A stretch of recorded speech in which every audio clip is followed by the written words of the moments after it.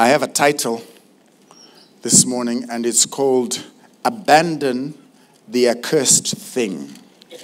Abandon the accursed thing, or get rid of the cursed thing in your life. Amen. And um, we had, thank you so much, um, uh, uh, Faith Ministries. You supported the Christian Medical Fellowship Camp that was last week. We had 340 uh, uh, medical students there, 40 from outside of Zimbabwe. 18 gave their life to the Lord. One eight gave the life to the Lord. And, um, and uh, the theme of that uh, conference was um, after God's own heart.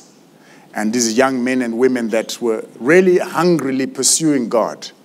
And uh, Acts chapter 13 was the theme when it spoke about how God said of David that he was a man after my own heart. And um, one of the prophetic things that was said there was that God wanted to transplant, you know, it's a medical conference, so they have medical language, that He wanted to transplant hearts and remove hearts of stone in accordance with Ezekiel chapter 36 and make them into hearts of flesh. But what was really, really important there to understand is that God is the one who says He will give the heart. And He says, and He will cause you to obey His statutes. And I'm just saying that here today for anyone that is struggling with the power to overcome something in their lives. That your job is to do a certain part, but it is God's job to do the part of changing and enabling you to have victory. Amen? So it says, um, abandon the accursed thing. And there's been a great call I, I, was listening to, to Pastor Shingi the last few weeks talking about grace. I'm part through the message uh, from Dr. Marwisa last week talking about the nature of God. And, and, but there is a call upon our lives to live a consecrated lifestyle. God is now done with a general Christianity where everybody just has a general type of Christianity. He's calling now for a called out, a separated out Christianity where you, for specific assignments that God has called you to, you have to live a certain way for you to attain those things. Amen? there is a prescription for every person. It says in, in, in, in uh, uh, Romans chapter 12, it says, do not be conformed to the standards of this world, right? But be renewed in your mind that you may know what is the good, the perfect, and pleasing will of God. And we spoke about it before here and said this might just be talking about one thing, the will of God, but this could also be talking about the graduated wills of God. That there is a good will of God. If I just say good morning to you, that's the will of God that I'm polite, that I'm respectful, right? There's a pleasing will. If I said I'm just going to give someone $10 here, that's pleasing to God. But there's also a perfect will of God, which is what I was created for, that I must fulfill in my lifetime and that I'm uniquely coded for. Amen? That's the perfect will of God. And so when you say to someone, God bless you, it's not that you are, God, see, our, whatever we're lacking in our lives that God has already promised is not because God is thinking about what to do for you. God has already decided what is going to happen or what should happen in your life. And to the degree that you cooperate with His agenda, those things manifest, but they're yours all the time. They were always yours, and they will always be yours. And at any time of your choosing to cooperate with the agenda of God, they will manifest in your life. So when you say to someone, God bless you, it's a prayer that you're saying, I pray that God would give you the grace to cooperate with His agenda on your life so that His glory would manifest upon your life. That's God bless you. Amen. So when we say Ishe Komborera, Zimbabwe, what we are saying is God cause a grace to come upon Zimbabwe that enables Zimbabwe to cooperate with the agenda of God so that the promises of God for Zimbabwe would be made manifest. Are we together there? So, God wants us to live a life that is specific where we have reached a point where we are getting clear instructions from God. And curse, remove the accursed thing is that there's some things that are in our lives. Pastor Shingi put them like the bone in your mouth. There are some things that when we see, when you consecrate yourself, it is a separation that is not really uh, asked of everyone else. It's asked for a person or a grouping that shows your committedness to uh, uh, the thing that you must achieve. So you find athletes consecrate themselves. Sprinters don't smoke. Sprinters don't drink alcohol. Sprinters eat chicken breast and, uh, and lettuce. Are you with me? It's a separated lifestyle that not every one of us has been called to, but because they want to achieve something. And God says, Come out of their midst and come out and be separate. We can't be blended Christians anymore. Otherwise, we are not going to, to win the race. We can't live generally anymore. So each one of us needs to be inquiring of the Lord what is the requirement for me, my consecration. You see, when you fast, that's a consecration. You are taking yourself apart from what everyone else is involved in to show your seriousness to God about the thing that you're asking of Him. Amen? That's a consecration. And God said, Get rid of the thing that is standing between your destiny and I, the thing that so, uh, uh, uh, it says, the sin that so easily entangles.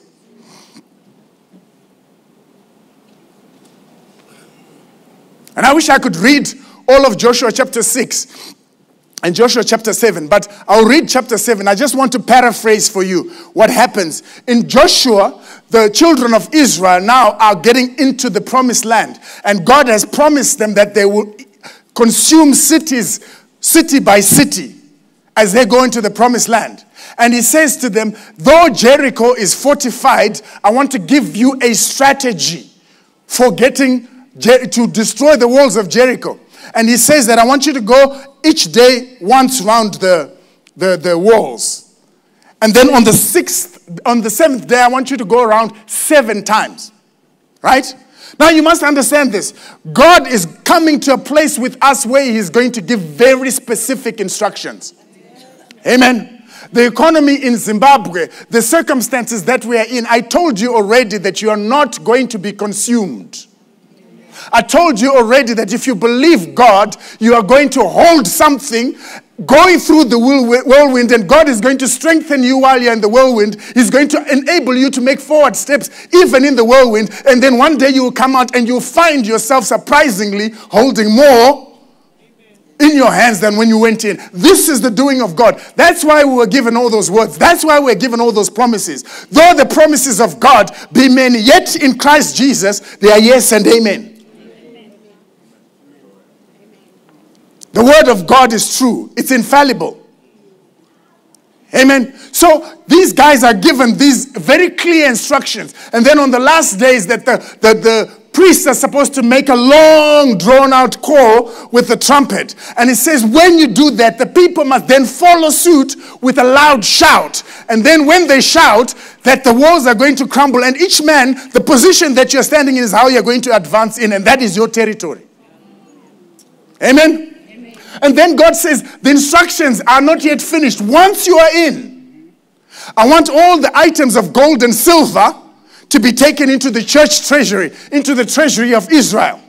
It says, but everything else, everything else, I want it to be destroyed and burned with fire.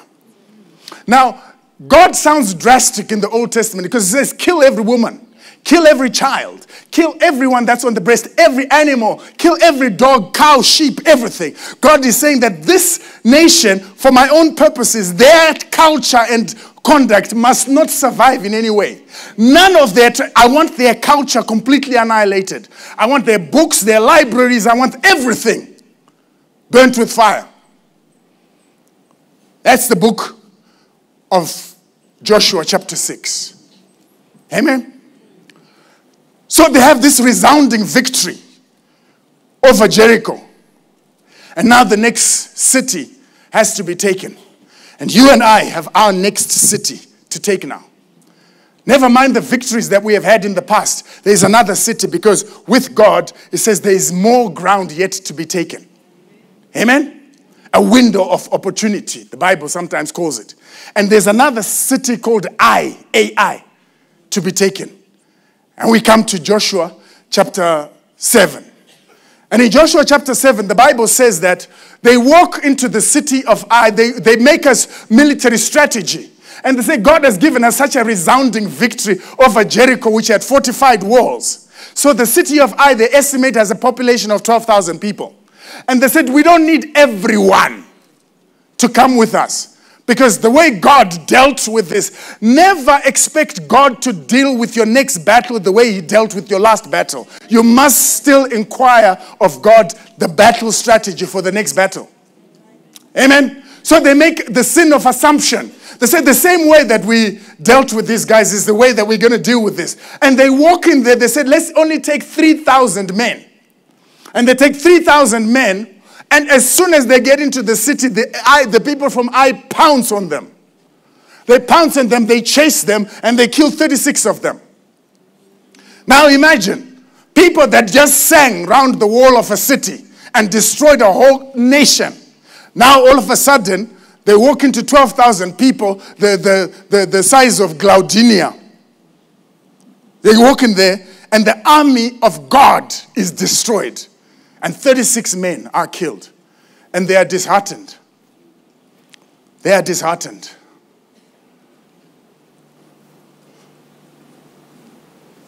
I want to ask you to reflect upon your life because we're going into the next stage now.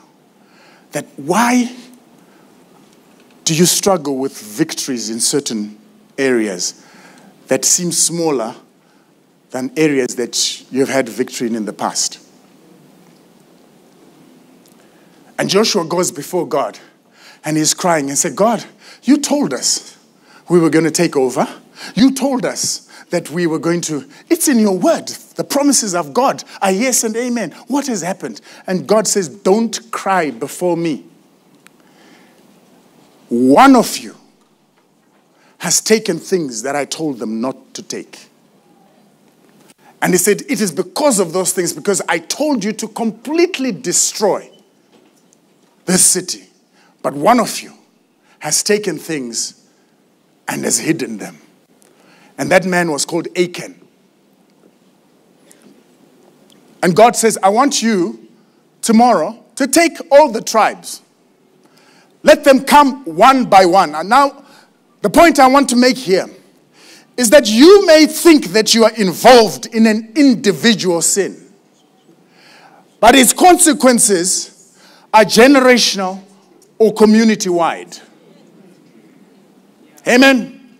You may think that you're stealing a little bit of aid money for yourself, but the consequences are typhoid and cholera for God's people.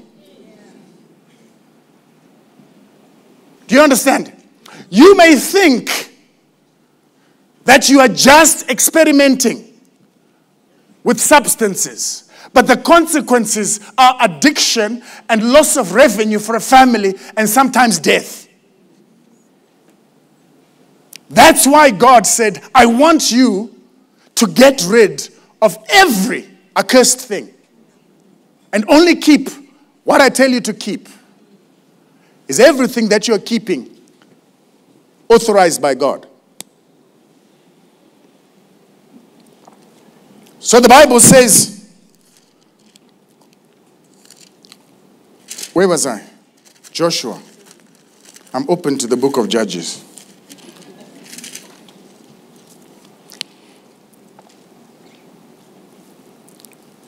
Let's go to uh, chapter 7, uh, verse 13. Get up, sanctify the people, sanctify yourselves tomorrow, because thus says the Lord, there is an accursed thing in your midst O Israel, you cannot stand before your enemies until you take away the accursed thing from among you.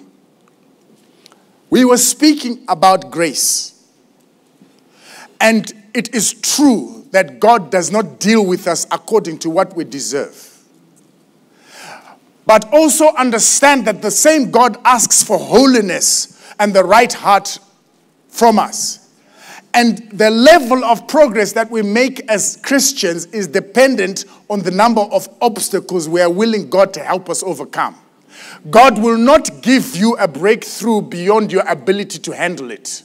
And so, if you are stuck in some kind of accursedness that you won't give up, God cannot take you to the end, not because He doesn't love you, but He knows that if you put something that is heavy on a weak foundation, it will destroy the very thing you're building. Amen. That's why Paul said that I cry and I wish that all of you by now will be able to eat bones, but I'm still having to feed you milk. And God is saying that there's adults in his church that are still carrying feeding bottles because they won't give up certain things. And he says, the reason why you're failing to make significant progress is that in your midst, there's an accursed thing. So Joshua obeys God and he calls them now in the morning, verse 16, and he starts to make them in single file one by one, until the Lord stops on this man Achan, verse 18. Then he brought his household, man by man, and Achan, the son of Carmi, the son of Zabdi, the son of Zerah, and of the tribe of Judah. You understand that these things now have consequences more than just Achan himself. Because now they're asking you, when you are arrested, they don't just say, You're uh, Matthew. We are arresting Matthew. They say, Matthew who? Matthew was like, Oh, from where? Now you're beginning to involve, now my mother has to come. You never just go to prison by yourself. You don't. All your relatives now have to come and visit you. All your relatives have to come and bring you food. It's now affecting more than just yourself. Amen. And this is the responsibility when we are becoming consecrated to God that we must take with us. God says that I will give you a heart of flesh that will follow my statutes. But before God gives you the heart of flesh, you can't be like Achan. The Bible says now, Achan, now Joshua, verse 19, said to Achan, My son, I beg you, give glory to the Lord God of Israel and make confession to him and tell me now what you have done and do not hide it from me. Tell me now what you have done and do not hide it from me. I want to just say this to you. If I lie that I wasn't at my house when you called, when I was there, it's a sin. I can settle that sin with God, just the two of us. And so, Lord, I'm sorry I, I wasn't quite honest. It didn't hurt anyone except breach my relationship with the Lord. There are some sins that have consequences beyond the environment where they've occurred. And I want you to reflect on the following in your life. If in your life there is sexual sin, understand that the consequences of that sin are beyond just yourself. And I'm talking here about premarital sex. I'm talking about pornography. I'm talking about adultery. I'm talking about strange, uh, unauthorized sex of any kind. This thing comes with soul ties. This thing comes with encroachment onto your soul. Because the Bible says, Can a man unite Christ with a harlot? And you say, How do I unite Christ with a harlot? It says, Because the Bible has said, when two sleep together, they become one flesh. And because you are the temple of the Holy Spirit, according to God, you are the temple of the Holy Spirit. When you unite your body with a prostitute, you're causing Christ to be united with the prostitute. That's why the sexual sin must be resolved. The financial sin must be resolved. Dishonest gain doesn't just end by being dishonest. And I'm telling you now, there's people that have lost homes because of the calculations of others. You're with me?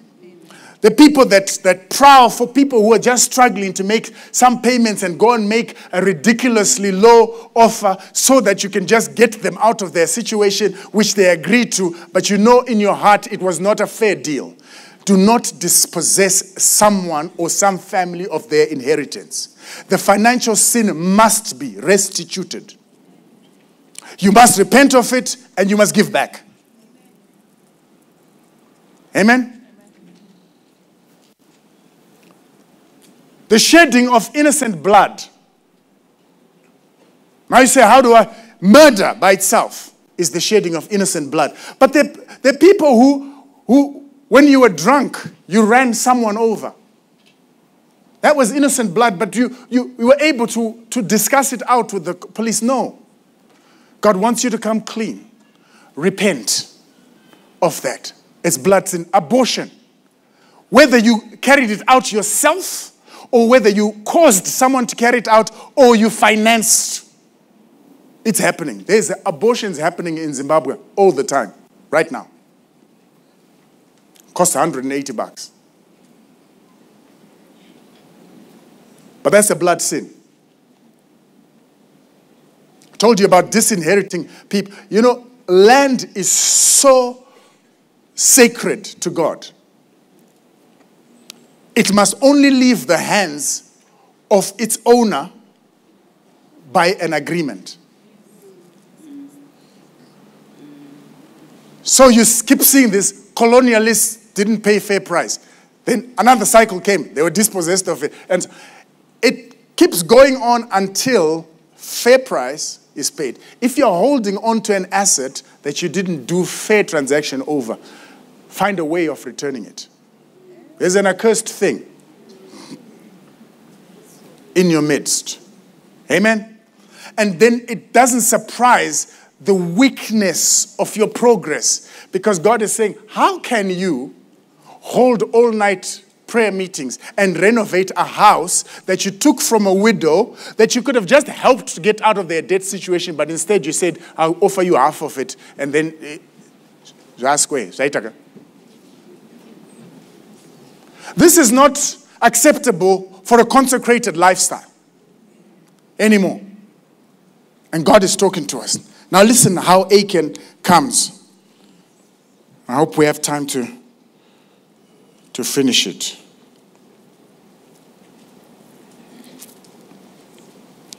Verse 20 And Achan answered Joshua and he said, Indeed, I have sinned against the Lord God of Israel. And this is what I have done. And I want you to mark four things. Number one, when I saw, write down, uh, write down I saw. When I saw the spoils and the beautiful Babylonian garment, 200 shekels of silver and a wedge of gold weighing 50 shekels. Look how detailed his assessment was. He says, I coveted them. Write down number two, covet. Number three, I took them. Write down, take. And number four, and they are hidden in the earth in the midst of my tent with silver, with the silver under it.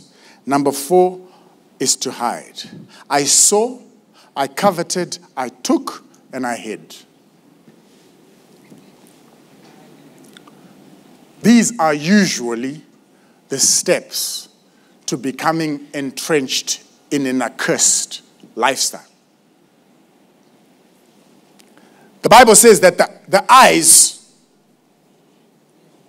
are the gate or the window of the soul. I saw was the first thing. Watch what your senses are permitting in. He says, I saw. Now, it doesn't just end at seeing, it's I heard, I touched, I smelt. Whatever we permit our senses to linger over that is ungodly begins to grow roots and tentacles. It says the eyes are the windows of the soul. Now you must understand that your soul the Bible says in Hebrews chapter 4 is very difficult to separate from your spirit. We are human beings, we live in a body, we have a soul that is the seat of our intellect and our emotions, and we have a spirit that communes with God. But the Bible says that the only thing that has been known to be able to insinuate between spirit and soul is the Word of God. Otherwise, you can't separate the two. If you contaminate the soul, you contaminate the spirit. The Bible says in Hebrews chapter 4 For the Word of God is sharper, is like a two edged sword, sharp and able to separate between marrow and bone, the spirit and the soul, the actions and the intents of the heart, right? So if you allow your soul through the window that is the eye to be contaminated, you are very likely contaminating your spirit as well. And unless you are doing like Pastor Marwisa was saying last week and dwelling in the Word of God, there is no tool that is able to separate bone marrow from bone. The surgeons here know it. Dr. Mawera is here. You can't separate, there's a thing, the instrument they call a periosteal elevator. It can separate the outside of the bone, but you can't define a line between the bone and the bone marrow. Akuna instrument like that.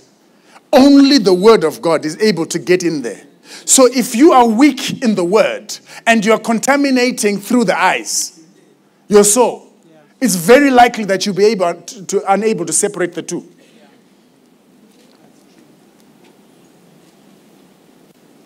Amen. So the day of consecration requires that I censure the music that I listen to, that I censure the movies that I watch, that I censure the company that I keep, the jokes that I permit to be on my phone. Because God is saying, you know, there's an uh, the interesting uh, article in the American Journal of Biological Psychology. And they're saying now that if you look at someone's iris, you can tell their personality. Yeah, yeah. They're saying this by the way the lines are drawn, they can tell an aggressive person, they can tell a kind person. Don't be fooled by this technology now when you're going to new countries and they say, look into the iris. They're not just getting in, they are getting, gathering information. So before you know it, you'll be stopped from going. Someone will say, You, you look like a murderer just from looking.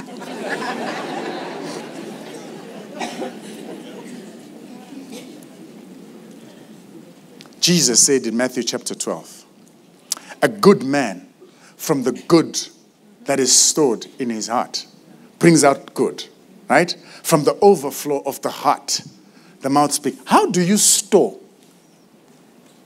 something in your heart? It says, guard your heart with all diligence, Proverbs chapter 4, because out of it are the issues of life.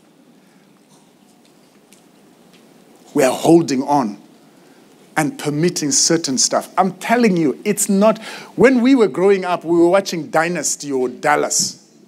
At that point, when J.R. would want to kiss Sue Ellen, we all used to turn our heads and look to the side. Right?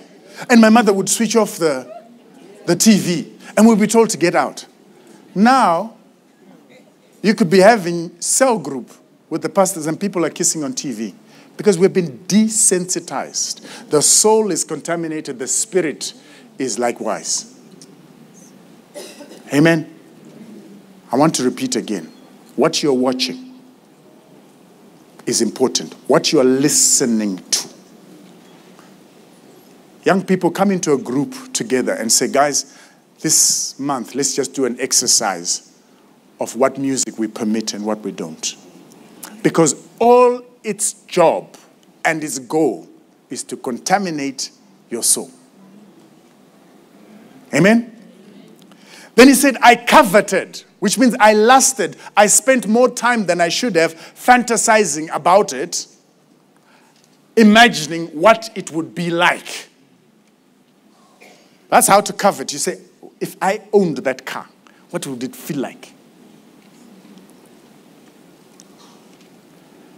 And the Bible teaches us that the, the pride of life, the lust of the eyes, the lust of the flesh, and the pride of life are the categories in which we sin. Amen. And so if you see something and you linger over it and you close your eyes and you meditate on it, and you find yourself imagining what would it would feel like if you owned it or if you had access to it, you're going down the slope. You're going down the slope. And then it's just a matter of time before you take. Solomon speaking to his son, he says, My son, do not lust or fantasize about the adulterer. In Proverbs chapter 6, he says, Don't look at her eyes and how formed her lips are. He says, Don't. Because once you start coveting, you're going to take the next step, which is to, to take. Remember what I said there's some sins that you can solve between you and God. There are some sins that are going to require you to go and give back or to go and give restitution. The Bible says in James chapter 5 confess your sins one to another that you may be healed. That scripture that we always quote that says, For the prayer of a righteous man availeth much. Do you know what it had to do? It had to do with having confessed your sin to someone and have them pray for you. That prayer of that righteous man is what avails your cleansing. Amen? James chapter 5. Confess your sins. One, you must confess your sin, if possible, to the person that you have violated the most. Next, you must confess it to your accountability partner that he may pray for you that you would be healed. It's in the Word of God.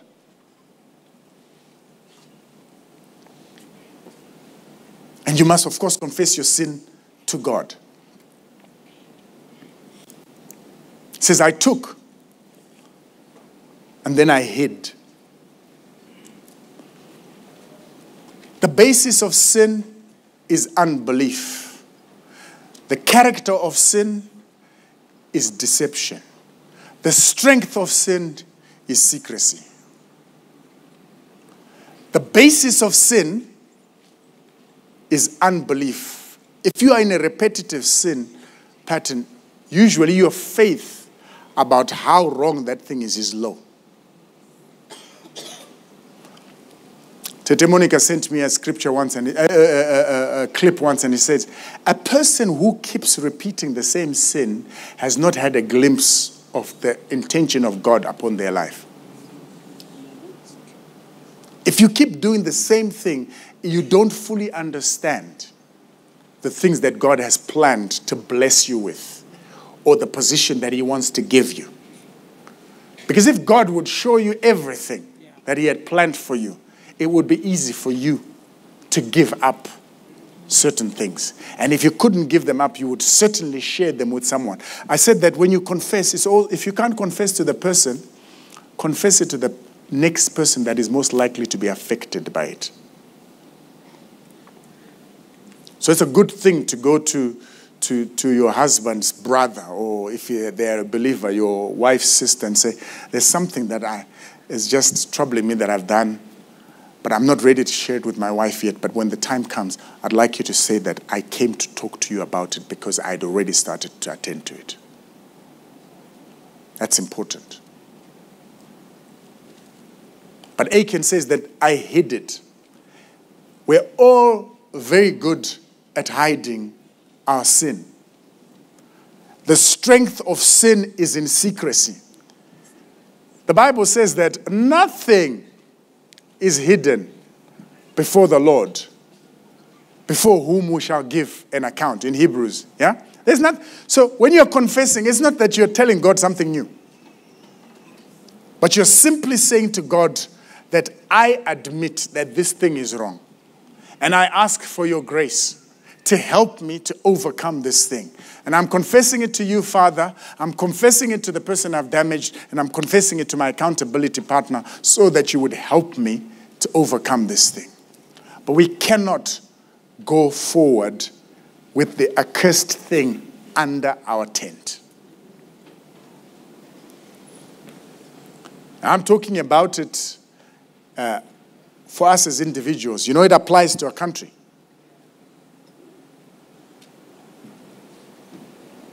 very few countries can say sorry to the international community, but more importantly, to their own citizens. A journalist was killed. And, and, and they said, no, he, he, he wasn't killed. We'll give you footage that he came out of the embassy. We, because the Spirit of God, the accursed thing, is in our midst. Imagine they could have just come. There was such an incident in the embassy. Unfortunately, it ended badly, not as we expected. This is what happened, and this is, and we're willing to face the consequences. Now they're going to face the consequences anyway. But the power of sin is in secrecy.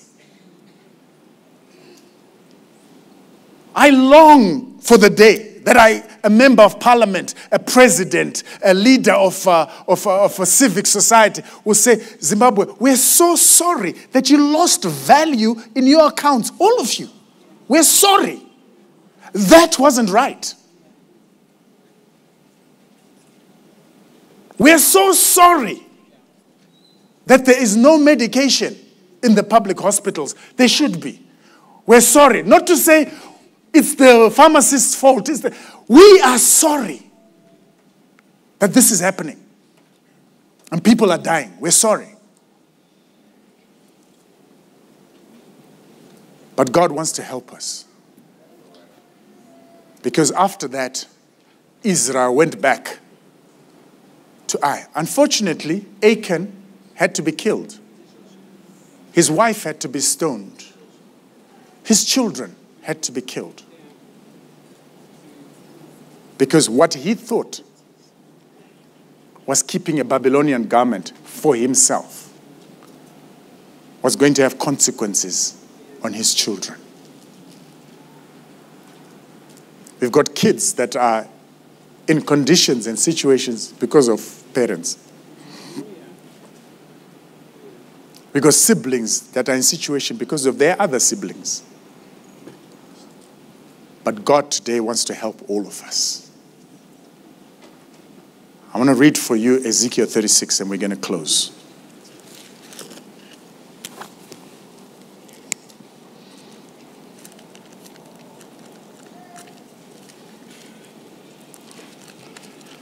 It's not. Please put up Ezekiel chapter 36, verse 26 up there.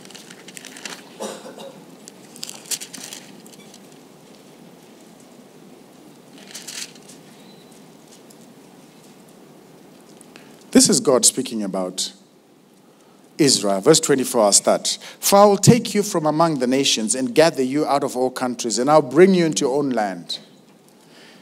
Then I will sprinkle clean water on you, and you shall be clean.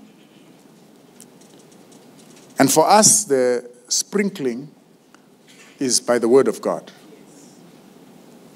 It says, Husbands, love your wives and present them spotless before the Lord by washing them with the sprinkling of the word. Remember that? So the word of God is what sprinkles us. And I will cleanse you from all your filthiness and from all your idols. And I will give you a new heart. This is God now. I will give you a new heart and put a new spirit within you. And I will take out the heart of stone from out of your flesh and give you a heart of flesh. I will put my spirit within you and cause you, I will cause you to walk in my statutes, and you will keep my judgments and do them. Then you shall dwell in the land that I gave to your fathers, and you shall be my people, and I'll be your God.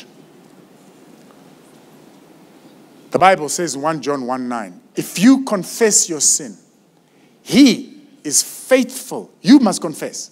But He is faithful to forgive your sin and to cleanse you. You heard Him. I'll sprinkle water on you if you thought it was just the Old Testament. I'll sprinkle water on you and you'll be made clean.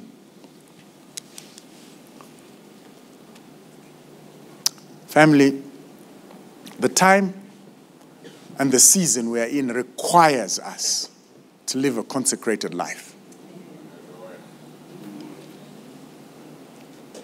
Jesus said, Seek first the kingdom of God and his righteousness, and all these things shall be added to you.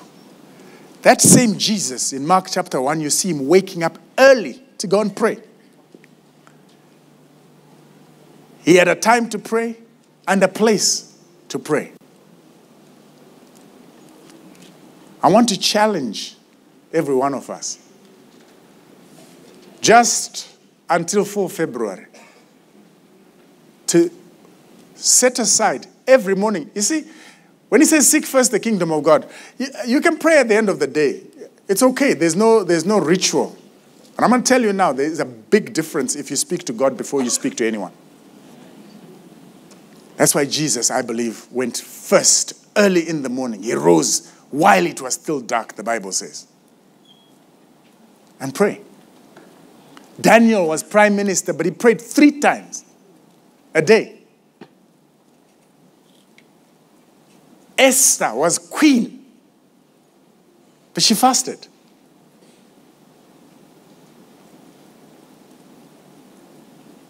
And we have to have a fellowship in prayer, and we have to have a fellowship in the Word. I want to invite you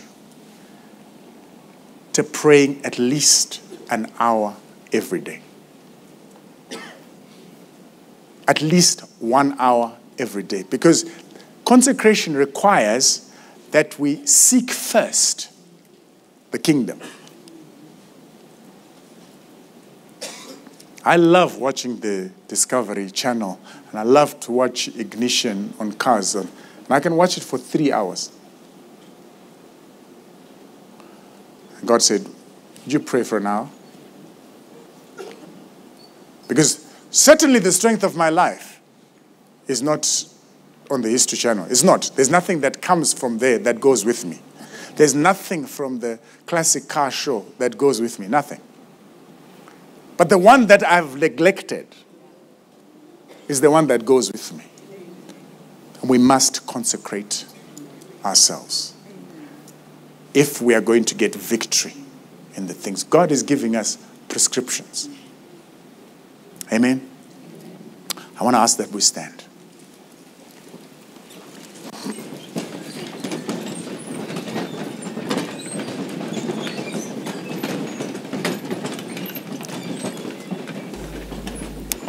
There's a big difference between God and demons. You know, demons possess you.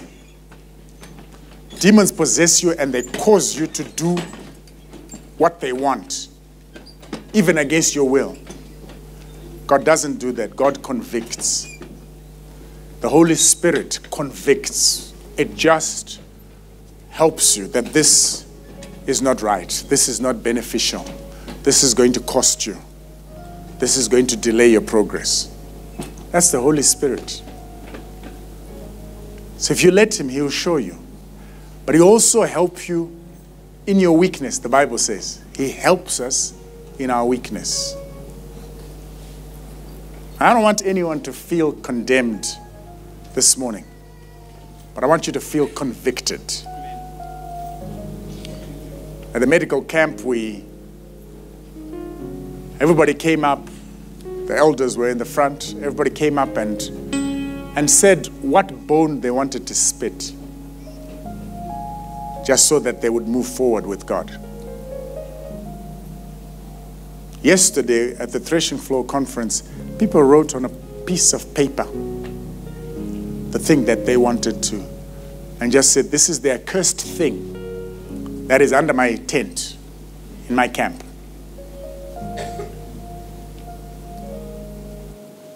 I want us to pray.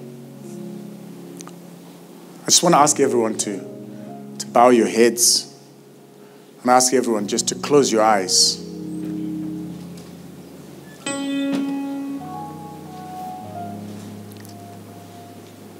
And I want you, if you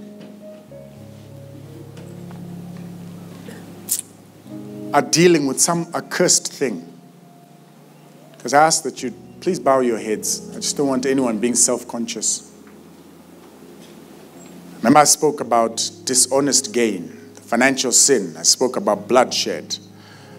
I spoke about or maybe I didn't, dabbling in the occult. If you have ever dabbled in the spirit world, vadzimu, mashavi, just any covenant that wasn't with God. There are sororities and brotherhoods that are not godly. God doesn't want you to make a covenant with anyone except Him and your life partner. So, dabbling in the occult, bloodshed, financial fraud, the sexual sin. If you're here and you say, I, I have some accursed thing that I want to leave at the altar today, I just want you to raise your hand. Just everyone bow down. It's the Spirit of God wants to help. Father, I lift up your children whose hands are outstretched to you. It is you who said, if you confess your sin, he is faithful and just to forgive your sin and to cleanse you from all unrighteousness. Father, see these hands of confession that are outstretched to you. As they do their part by faith, now, Lord, I ask in the name of Jesus that you would do your part by faith. That, Father, that you would edit out of their system, edit out of their bloodline, edit out of their consequence, edit out of their destiny the accursed thing in the name of Jesus.